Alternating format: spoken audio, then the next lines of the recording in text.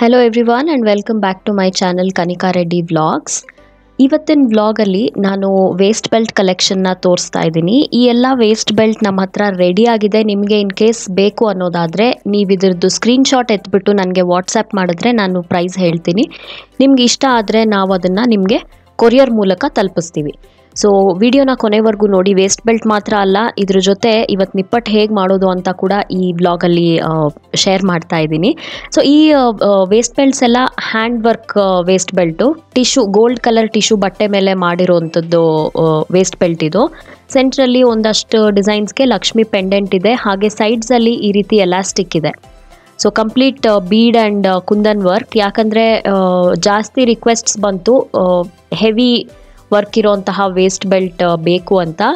So ಹಾಗಾಗಿ ನಾನು ಈ ರೀತಿ ಬೆಲ್ಟ್ಸ್ನ ರೆಡಿ ಮಾಡಿಸಿದ್ದೀನಿ.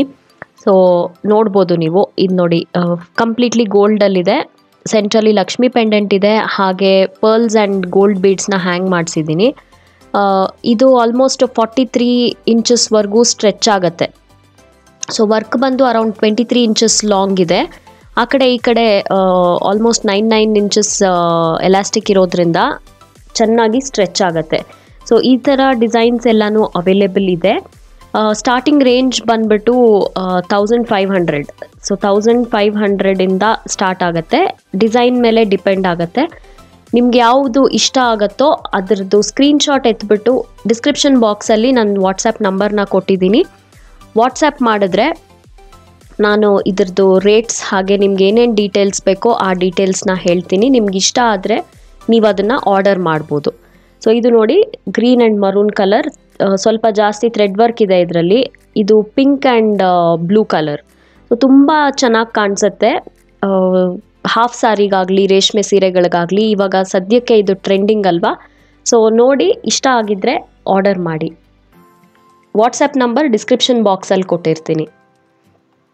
ಸೊ ಇದ್ರ ಜೊತೆಗೆ ನಾನು ಲಾಸ್ಟ್ ಟೈಮ್ ಬ್ಲಾಗ್ ಪೋಸ್ಟ್ ಮಾಡಿದಾಗ ನಿಪ್ಪಟ್ಟು ಮಾಡಿದ್ರು ಅಮ್ಮ ಅಂತ ಹೇಳಿದೆ. ಅದಾದಮೇಲೆ ಸುಮಾರು ಜನ ರೆಸಿಪಿ ಪೋಸ್ಟ್ ಮಾಡಿ ಅಂತ ಕೇಳಿದ್ದೀರಾ. ಸೊ ಹಾಗಾಗಿ ಅದನ್ನು ನಾನು ಇವತ್ತು ಪೋಸ್ಟ್ ಮಾಡ್ತಾ ಇದ್ದೀನಿ. ನಿಪ್ಪಟ್ಟಿಗೆ ಯೂಶ್ವಲಿ ಗೊತ್ತಲ್ವಾ? ಸ್ವಲ್ಪ ಮೈದಾ ಹಿಟ್ಟು, ಅಕ್ಕಿ ಹಿಟ್ಟು, ಹಾಗೆ ಗ್ರೌಂಡ್ ನಟ್ಸ್ ಹಾಗೆ ಕಡಲೆಪಪ್ಪು ರೆಡ್ ಚಿಲ್ಲೀಸ್ ಕರಿಬೇವು ಸಾಲ್ಟು ಸ್ವಲ್ಪ ಅರ್ಶಿನ ಈ ರೀತಿ ಎಲ್ಲ ಇದೆಲ್ಲ ಬೇಕಾಗತ್ತಲ್ವಾ? ಸೊ ಫಸ್ಟ್ ಸ್ಟೆಪ್ ಏನಂದರೆ ಈಗ ಈ ಗ್ರೌಂಡ್ ನಟ್ಸ್ ಇರುತ್ತಲ್ಲ, ಒಂದು ನಾಲ್ಕು ಟೇಬಲ್ ಸ್ಪೂನ್ ಅಷ್ಟು ಗ್ರೌಂಡ್ ನಟ್ಸ್ ತಗೊಳ್ಳಿ. ಅದನ್ನು ಡ್ರೈ ರೋಸ್ಟ್ ಮಾಡ್ಕೋಬೇಕು ತವ ಮೇಲೆ.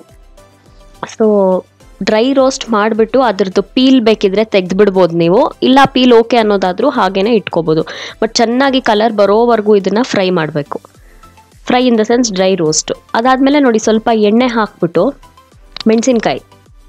ಬೇರೆ ನಾವು ಇನ್ನೇನು ಖಾರ ಹಾಕ್ತಾ ಇಲ್ಲ ಅಲ್ವಾ? ಸೊ ಹಾಗಾಗಿ ನಿಮಗೆ ರುಚಿಗೆ ತಕ್ಕಷ್ಟು ನೋಡಿ ನೀವು ಎಷ್ಟು ಕ್ವಾಂಟಿಟಿ ಮಾಡ್ತಾ ಇದ್ದೀರಾ, ಅಷ್ಟಕ್ಕೆ ರುಚಿಗೆ ತಕ್ಕಷ್ಟು ಒಂದು ಸ್ವಲ್ಪ ಕರ್ಬೇವು ಸೊಪ್ಪು, ಹಾಗೆ ಮೆಣಸಿನ್ಕಾಯಿನ ಕೂಡ ಸ್ವಲ್ಪ ಫ್ರೈ ಮಾಡ್ಕೋಬೇಕು.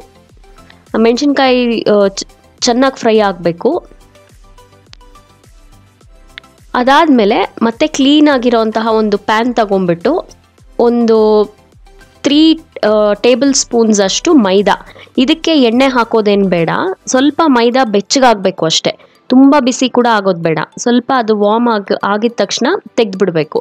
ಸೊ ಇಷ್ಟು ಮಾಡ್ಕೊಂಡಿದ್ದಾದಮೇಲೆ ಇವಾಗ ನೋಡಿ ಮಿಕ್ಸಿಗೆ ನಾವು ಚಟ್ನಿ ಮಾಡ್ತೀವಲ್ವ ಕಡಲೆಪಪ್ಪು, ಆ ಆ ಪಪ್ಪು ಆಮೇಲೆ ಗ್ರೌಂಡ್ ನಟ್ಸು ಇದನ್ನೆಲ್ಲ ತಗೊಂಡು ಮಿಕ್ಸಿ ಮಾಡಬೇಕು.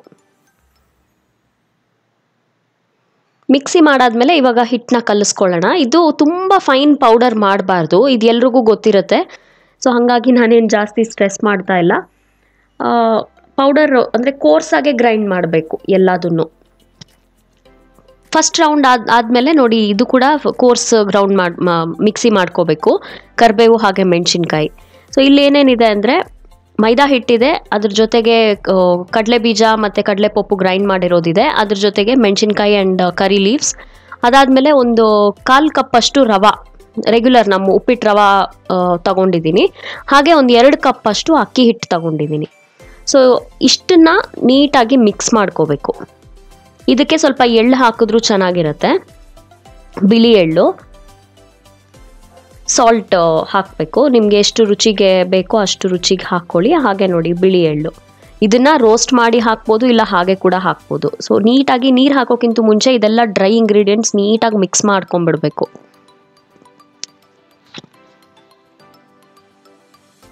ಸೊ ಮಿಕ್ಸ್ ಮಾಡ್ಕೊಂಡಿದ್ದಾದಮೇಲೆ ಯೂಶಲಿ ನಾವು ನಿಪ್ಪಟ್ಟು ಇಲ್ಲ ಚಕ್ಲಿ ಮಾಡಬೇಕಾದ್ರೆ ಒಂದು ಸ್ವಲ್ಪ ಎಣ್ಣೆ ಕಾಯಿಸ್ಬಿಟ್ಟು ಹಾಕ್ತೀವಲ್ವ?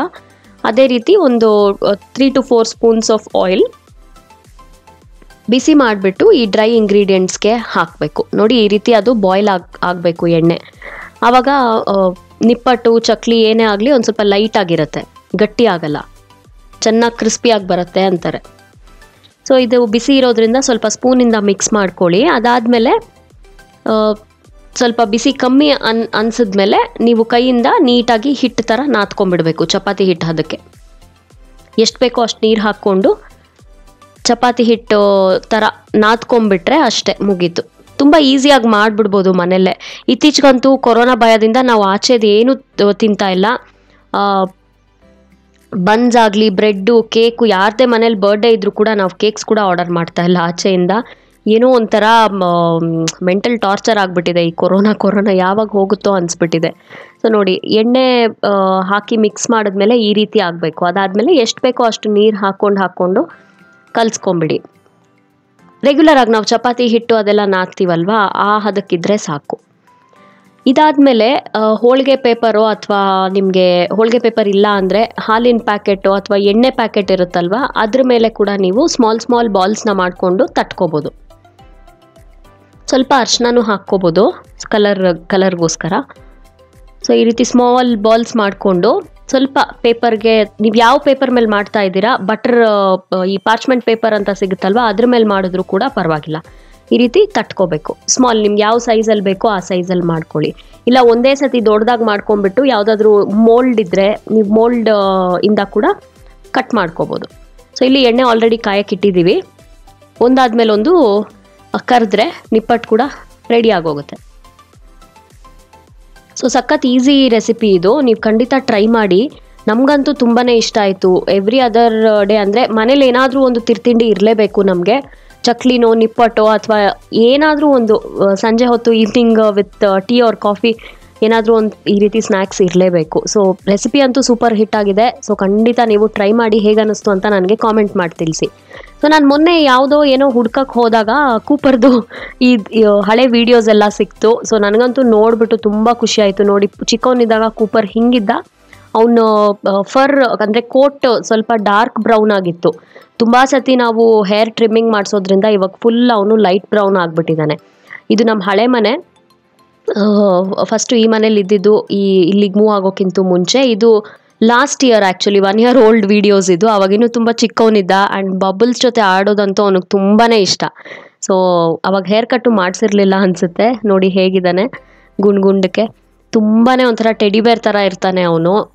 ಸಖತ್ ಕ್ಯೂಟು ಅವ್ನು ತಂದಾಗಿಂದ ಅಷ್ಟೇ very very cute fellow so ಹಾಗೆ ಇದನ್ನು ಕೂಡ ನಿಮ್ಮ ಜೊತೆಗೆ ಕ್ವಿಕ್ಕಾಗಿ ಶೇರ್ ಮಾಡೋಣ ಅಂತ ನಾನು ಇದನ್ನು ಆ್ಯಡ್ ಮಾಡ್ತಾ ಇದ್ದೀನಿ. ಸೊ ಐ ಥಿಂಕ್ ಈ ವಿಡಿಯೋ ಅಲ್ಲಿ ಇಷ್ಟೇ ನಾನು ಮತ್ತೆ ಬೇಗ ಸಿಗ್ತೀನಿ. Until then stay tuned bye